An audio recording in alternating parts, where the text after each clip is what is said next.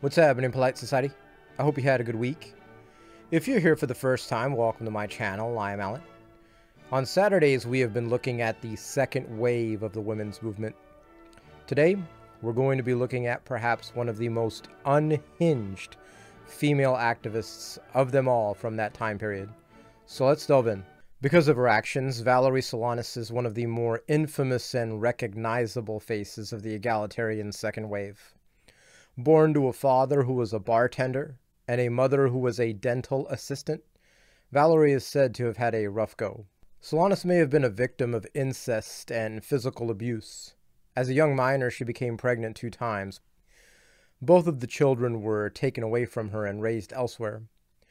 At age 15, she became homeless and engaged in woman female erotic unions, prostitution, and begging.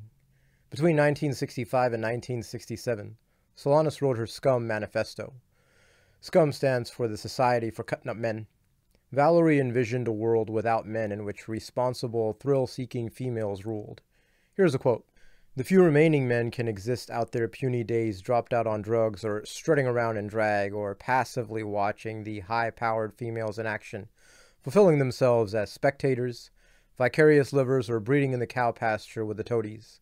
Or they can go off to the nearest friendly neighborhood self termination center, where they will be quietly, quickly, and painlessly gassed to death.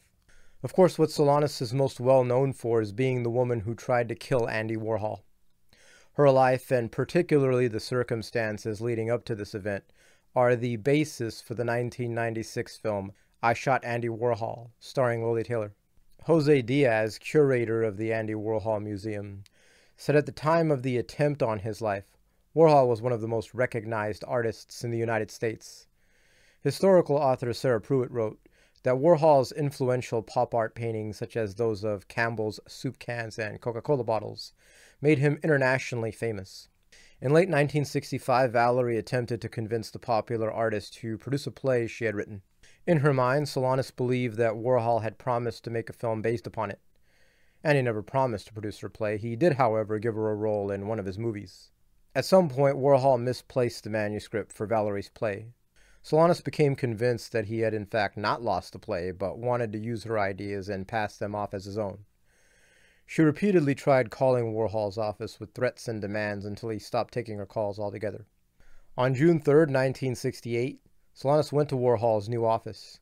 Armed with a 32 Beretta, she opened fire on both Warhol and an art gallery owner who was with him, and then she left the scene. For a brief time, Warhol was declared dead, but he was later revived by physicians. The other victim was not seriously injured. Hours after the crime, Solanas surrendered herself to a police officer. She was tried and sentenced to three years, including time served, and she was released in 1971. Let's turn to criticism. I'm not sure if Solanas was being tongue in cheek in that quote I cited earlier. It's a little difficult to say given her mental makeup. If that motion was meant to be taken seriously, it is of course a laughably bad idea and completely untenable. The entire infrastructure is run by men.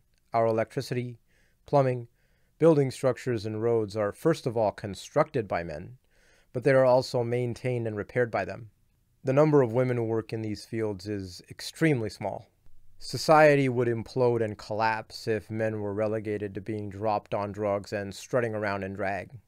Also, as I've mentioned many times before, the law enforcement and military fields are vastly overrepresented by men. Men are the enforcers of the law, in fact, having women as enforcers weakens both our police and military forces. From a biblical perspective, it is in fact an abomination for a woman to be a police officer or soldier, as it is an example of a woman putting on men's clothing. But that's a different topic for a future video. The point here is that both from an infrastructure and law and order standpoint, qualified males are not simply helpful for a well-oiled society.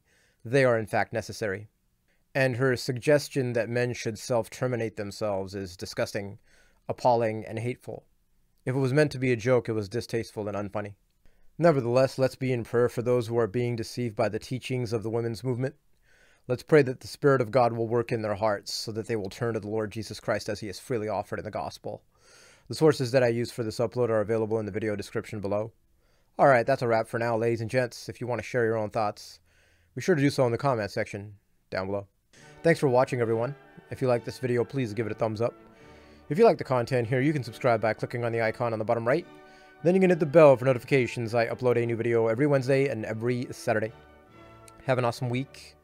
And for my brothers and sisters in the Lord, may the grace of the Lord Jesus Christ, the love of God, and the fellowship of the Holy Spirit be with you all always. I will see you all in the next video.